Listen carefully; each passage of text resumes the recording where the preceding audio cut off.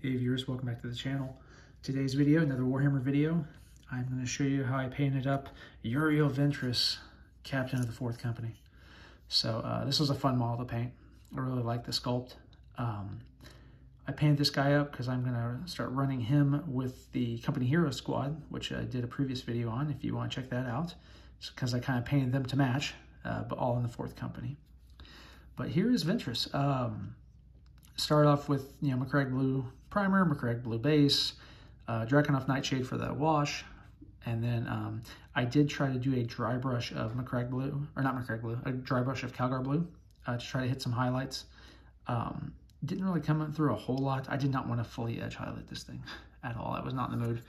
And I had to get them done fairly quick because I am building a list uh, for a tournament, that, so I need to get everything painted. So um, so he was, so these guys were kind of rushed and I was feeling the time crunch. So, but overall he turned out pretty well. Um, I tried to follow the guides on um, um, Games Workshop. They have a, a, painting guide on YouTube for free for this guy.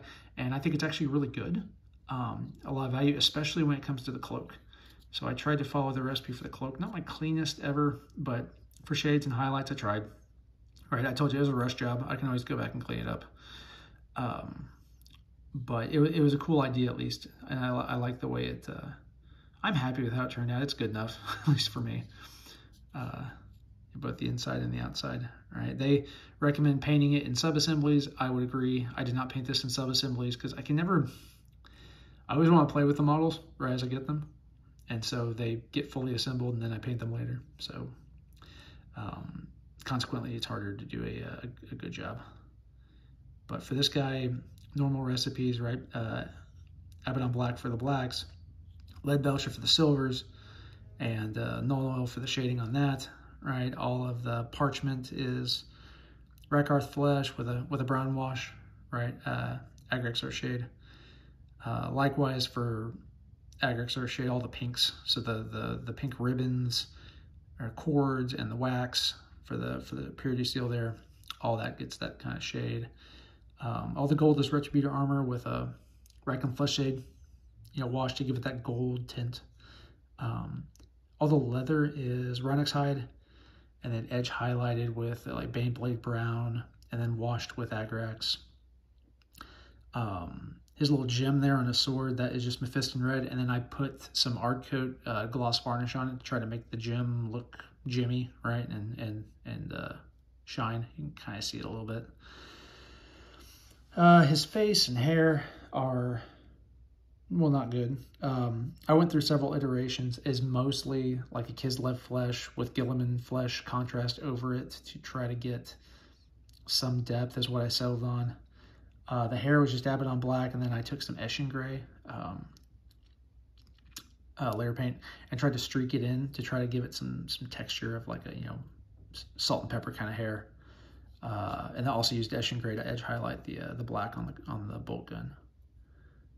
But uh, but that's about it for him. Um, Cor oh, Corax White for all the white for this little rose or whatever that is, flower.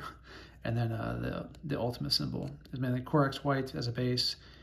And then I um, and then I think I, I used a little bit of white scar to brighten it up just on the on the flats. So. But that is Uriel Ventris, a, a definitely a cool model. Oh, the base. The base was kind of neat. So the base is Rune Lord Brass as a base uh, uh, as the base coat, and then I used um, Reikland Flesh Shade over the top of that to to kind of warm it up, and then I used uh, all the little green dots. I used um, a mix of one of the green washes that I had to do the, the, the shading on the cape. I used as a as a green wash on the all the little rivets to try to make it look like a patina and rust. Um, I believe that was um, Caliban green and some Lahmian medium, right, to thin it down and make it a, a uh, like a wash consistency to dilute the color. So, and then on the Power Sword blade, which turned out really splotty and ugly, but that's okay. Uh, some Frostheart contrast paint, kind of a very thin coat, kind of as a glaze to try to get kind of a soft blue glowing effect. It did not turn out well. I wish it was better, but that's okay. This is why we paint, to try to get better. So um, That's been, oh, and then the, the shoulder pad trim, right? The green for the fourth company is Warpstone Glow. And that's what we used there. And I believe, oh, I used an edge highlight of, uh, oh, what's it called? I'm looking at the, my paints. Skarsnik Green. Skarsnik Green. Uh, just to uh, to edge highlight that to give to give it a little brighten brightened up on the edges. So, but that is Uriel Ventris. Uh, a super cool model to paint, fun to run, uh, very fun to run because of his abilities, right? so um, that's all I got for this one. I appreciate everybody watching. Uh, if you like the content I'm giving you, please like, share, subscribe. It really helps the channel out, and I greatly appreciate it. So thanks again, and we'll see you in the next video.